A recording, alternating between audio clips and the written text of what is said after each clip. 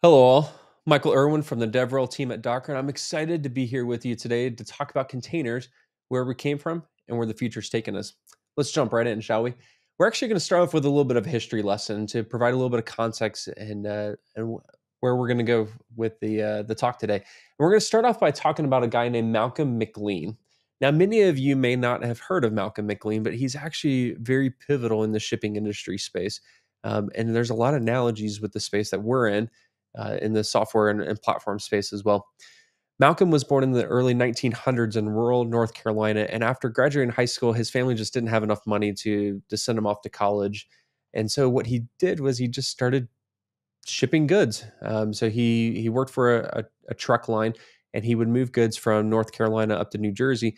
And eventually, he saved up enough money to to buy his own truck.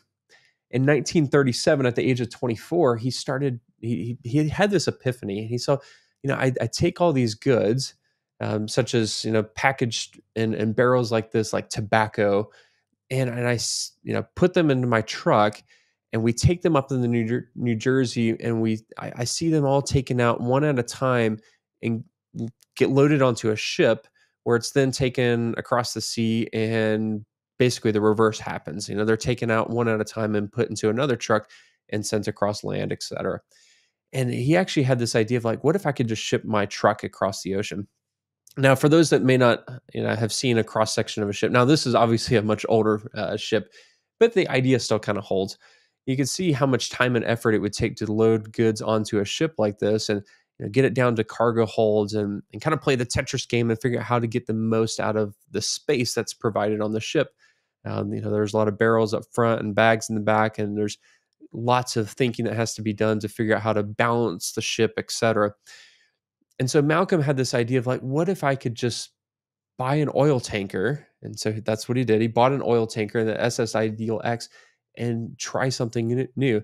Now, the US regulations at the time didn't allow him to own both a trucking line and a shipping line. So he had to sh- sell off his trucking line. Um, but his first experiments were can I actually take the truck and put it onto the ship itself and just then ship the truck? Um, well, as you can imagine, there's a lot of wasted space there between the cab and all the space under the truck and whatnot. And so that didn't work out too well, but it got him going and thinking about it. And soon the the shipping container was was developed. And the, the shipping container is the bedrock of much of or pretty much the whole shipping industry now. There's ISO standards uh, now, and you can even see circled in orange here uh, ISO 1161, if I have the number right, uh, defines what these corner castings look like. They're the shapes and dimensions, and you'll maybe a little hard to see in the, the picture there, but they're oval shaped. Um, and I'll explain why that is in, in just a second. But these these standardized shipping containers now, as a goods producer, I just get one of these boxes and throw whatever I want into it, and I can. The shipping industry then standardize or standardizes around this box. They can have cranes that know the exact dimensions of the box and pull it off of a ship and put it onto a truck chassis, move it around the yard, etc. Um, the ships can have what are called twist locks that fit into that oval slot and then twist and basically anchor it, the container down uh, to the ship itself. Or you can have twist locks that then go on the top of one container and on the bottom of another to anchor containers together. Now, what's also cool about this standard is not only did it help out the shipping industry, but entire other industries have been created around these standards. In fact, I found a UK startup that has an entire accessory line um, for folks that have bought containers either for tiny homes or for container bars or whatever it might be that you can uh, attach security cameras or lights or other types of fixtures to these same corner castings. Um, again, all because it's standardized. Um, so pretty cool stuff uh, in that space. But again, so Malcolm was thinking about this entire process and thinking about how do we how do we streamline it? How do we how do we make it better? And that's what's made the shipping industry what it is today. And this is a, a photo from the Shanghai shipping yard, uh, which is one of the busiest in the world. Um, and just the amount of throughput that goes through is quite fascinating. In fact, some results port turnaround dropped from three weeks to 24 hours shipping costs dropped from almost six dollars a ton to 16 cents a ton. That's a huge savings. And then the the chance of loss and theft dropped significantly because now the the entire industry is focused around the steel box rather than individual bags, barrels, boxes, crates that can get ripped and you know goods pocketed and go home with whoever decided to take them. Um, so just a lot, a lot of benefits. And what was the key to success around this? Well, Malcolm focused on the, the entire system, and in particular, the handoffs between different points in the system. So the the trucking line when it went to the shipping line, how do we how do we smooth out that that handoff there, that that process between the, those different areas? Okay. In the software space, we've gone through much the same thing. Okay. And of course, uh, I think most of you have seen this graphic before. We call it the DevOps loop. Hooray. Um, but really, what the, the whole DevOps movement has been really focused around is how do we smooth out these processes? What are the handoffs between these different areas so that we can plan, code, build, test, really deploy, operate, and monitor as quickly as possible? How do we tighten that loop so that we're responding to user needs and user feedback again as quickly as possible? Um, and going back to the shipping analogy, we again we've gone through this exact same paradigm shift where in the past I would find bags, barrels, boxes, crates, and you know now if I want to run a Python app, the way I configure a machine for Python looks very different than Java, than Go and Ruby and PHP and you know pick your language, pick your tool, and that's just the application. What about all the different services? You know your your databases and your your caches and everything else. It's just a lot of work, and now we want to deploy things as as quickly and as often as possible.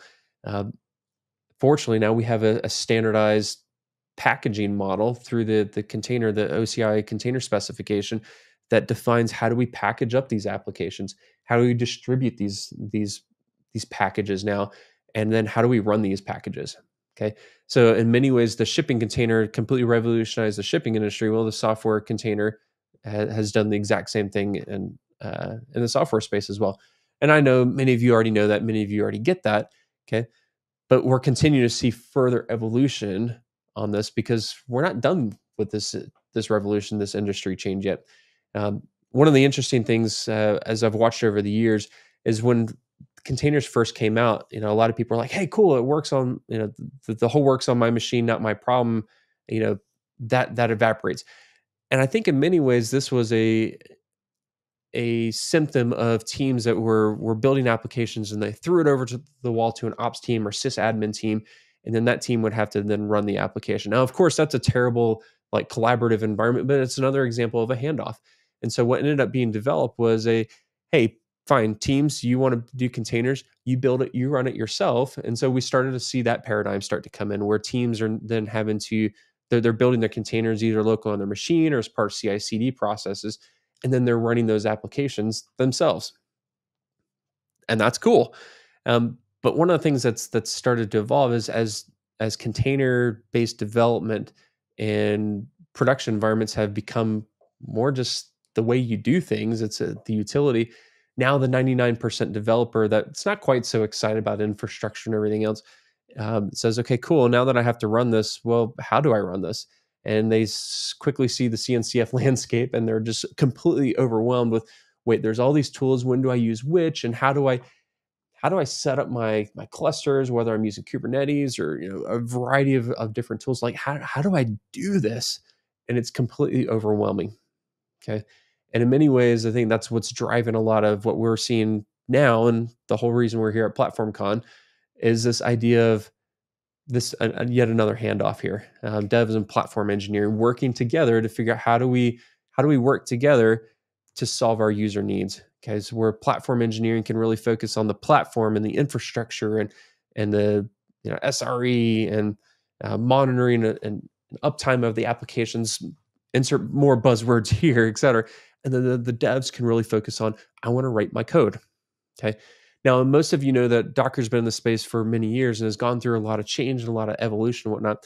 But one of the things most of you may not know is that with the the recent uh, refocusing of Docker, our our main focus, our main vision can be summarized with this statement. Okay, Docker's vision is really to increase the time that developers spend on innovation and decrease the time they spend on literally everything else.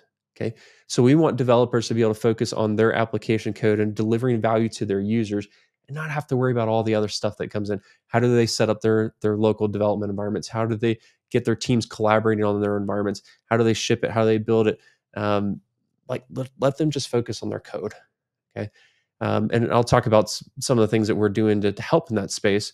But really this is this is our goal. So yes, we're kind of going back to this slide here.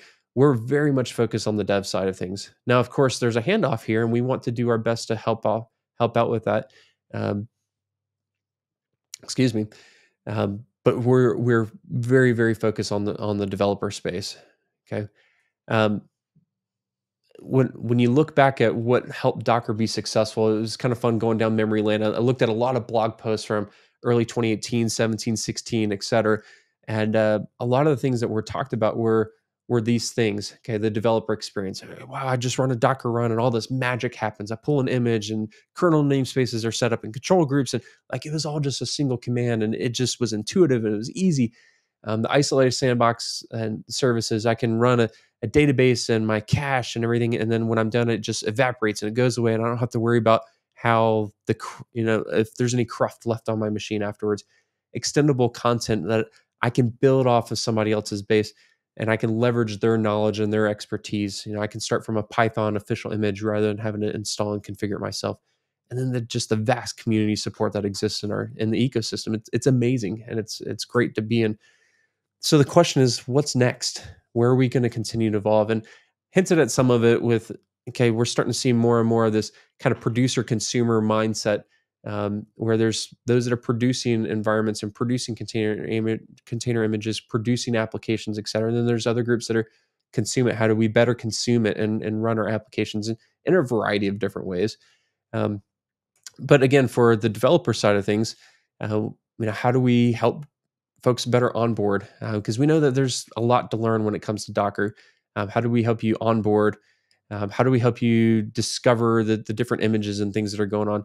Um, and I know my my my camera's uh, feed is uh, covering up a, a, couple of the items here, but um, new dev features, Compose Watch, for example, and other improvements uh, around networking speeds and VirtioFS to to just make it easier and, and faster to do your development, et cetera.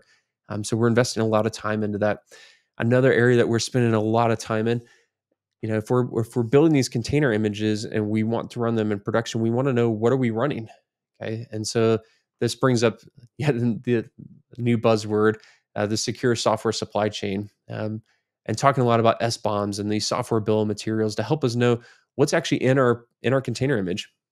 And ideally if we have an application running in our in our cluster somewhere um, regardless of the orchestration system if a new vulnerability comes out tomorrow how do we know what images are affected without having to go and rescan everything? If I've got this bill of materials, I can know immediately, hey, my containers running in my uh, my cluster environments, you know, containers X, Y, and Z are all vulnerable, but A, B, and C aren't. And I can look at the, these SBOMs.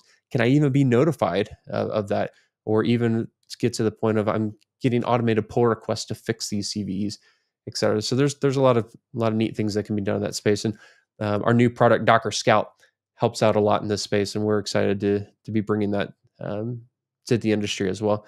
Um, another big part that we've seen with the the BuildX tool um, for those that are are building images, um, it captures now in the SBOMs both the, the runtime and build time uh, dependencies. So if you're doing multi-stage builds, for example, how do you capture all the the dependencies in those other stages? So if you're doing, for example, a Java build, well, how do you know what JDK you were building, et cetera, um, in case there was a vulnerability there. There's also a lot of new emerging technologies, and this will play into platform selection and architectures as well too. So if developers are wanting to start using WebAssembly, as, as an example, what changes does that bring to how we run our applications? Uh, there's a lot of really cool things going on in the WebAssembly space, and Docker is excited to be in this space as well. Um, and we're we're doing a lot with containerd shims and to be able to run these things on their own. But you know that's just one application usage of of WebAssembly. Uh, so again, there, there's a lot of new things going on, and it's all about making things easier and and trying to make things more approachable uh, to developers. At the end of the day, going back to this diagram again, it's all about the DevOps loop. How can we think of our entire system as a whole and think about the handoffs and trade-offs be- between each of these different areas so um, again i'm excited to, to, learn from each of you this week at, at, at platformcon. And if you have any questions or comments concerns feedback feel free to reach out. And uh, i'll be happy to answer. Thanks all